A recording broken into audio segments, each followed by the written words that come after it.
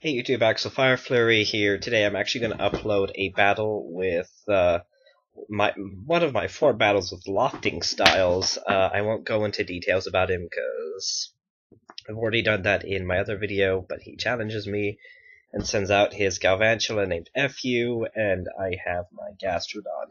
Now he's going to set up sticky webs, so because he just relies on entry hazards and he believes that okay, if I can outspeed everything, then life will be okay but I'm going to get the poison on him. I mean, yes, I could have done better things. Oh, and heads up, I'm feeling a little under the weather, so I apologize for that. I start hacking, I'll try not to. So he's going to go for the bug buzz, and that's just going to do absolutely nothing to me. And I'm going to go in for the skull, which easily takes him down to half, and with that poison, just Galvantula is not going to have much of a good day, but at the end, Galvantula is pretty much already done everything it could, so he's just gonna sit here and spam Bug Buzz and hope for the best. I mean, it's not gonna work. My Gastrodon is way too bulky. And so, I mean, as you can see, my Gastrodon has, like, most of its health, and I apologize for the really bad video quality of the video. I'm actually holding up my 2DS to a to the laptop's web camera, uh, one day I will get a capture card, but uh, Galvantula faints, and so we're at uh, 6-5. I'm easily in the lead. Gastrodon just sitting here taking everything like a boss. Okay, now we have his Muk called Slob. Now you're going to notice he's going to use Minimize. Now heads up, he is going to spam that a lot.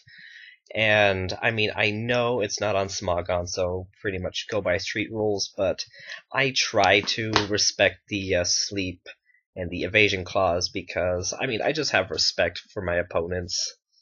So I'm going to throw out the only thing that can really do anything at the moment to Muk, and I'm just going to hope that this works. I mean, it's not going to work. And he, as you can see, he's going to spam minimize because I mean he really doesn't have much else going for him, and I mean I know I can't complain too much because I do have two legendaries, but I will say it's a bit cheap for him to just spam minimize. I don't think that's a really good play. I, I think it's kind of a cheap, childish move because I mean, come on, take it like a man. And I'm just gonna keep missing because of all these evasions. Now, I want to know why he's doing the stockpile because seriously, I'm not going to hit him.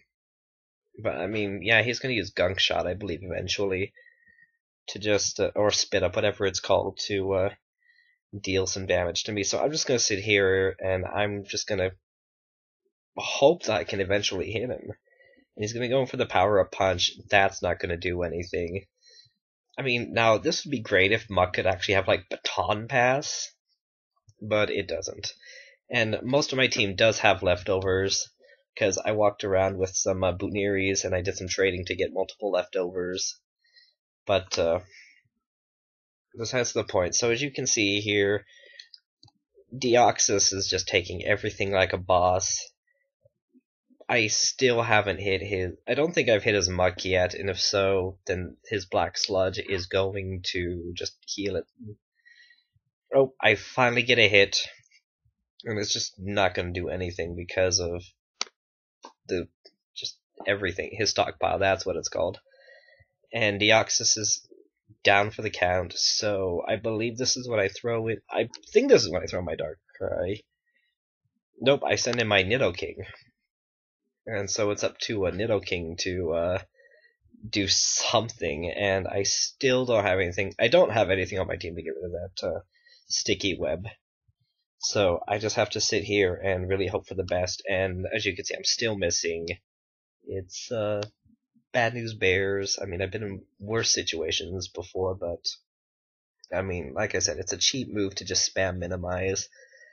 And I mean, I, I just have respect for other players, where I try not to use minimize, and I try to follow the sleep clause. In fact, I do follow the sleep clause, as you will see later on this battle. Uh, Nidoking is not taking anything really well.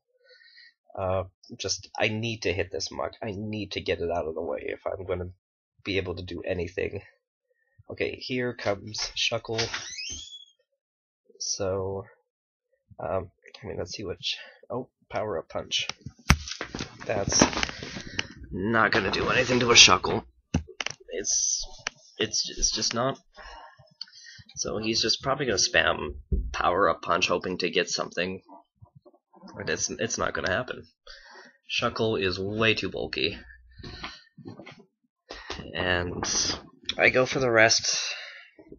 I believe I went for rest, and sorry for the background noise. Oh, and he switches out, so thank God for that. He loses his minimize, he loses everything. I'm gonna switch out Shuckle really fast. Now I switch into my Darkrai. Yes, it's a Gen Darkrai. I got it from a friend because Darkrai is one of my favorite legendaries. Like, hey, I have an extra. Do you want it? Yes.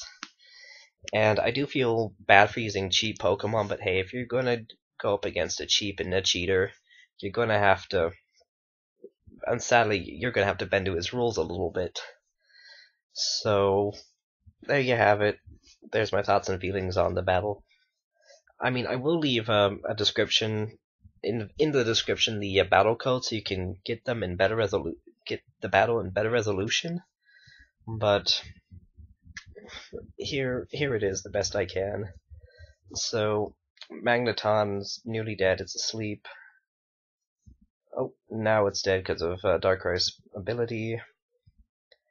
And that's Magneton gone, which which it, it was never a threat. Okay, Feraligatr, This Feraligatr does have Life Orb, and I'm going to I'm going to Dark Void it because I just do not have time for it. I need enough time for my Darkrai to heal. Because, I mean, as great of a Pokemon as Darkrai is, it's kind of fragile in my opinion. And looking at my health, yeah, I definitely need to get as much health as I can back. So, here it is. He's going to switch out his... Oh my gosh, it's Feraligatr, sorry. Like I said, I'm a little under the weather, so my brain isn't fully functioning. So he's sending out his Lickilicky. It's going to use. I think it's going to spam Power Up Punch. I believe it has it. And I just don't have time for that, so I'm just going to switch out my Darkrai and go back to Gastrodon because Gastrodon's going to be able to handle it. And the, the sad thing is, I don't get to battle the rest of his team because he does end up rage quitting in like the next few turns. Which, I mean, which is kind of i mean if you feel like you just don't have a chance then i may understand rage quitting but i never rage quit but he forfeits. So there you have it. He he gets toxic. He gets poisoned. And he just doesn't have anything else to do so he does forfeit. Uh, thank you for watching again. I'm so sorry for the bad quality of the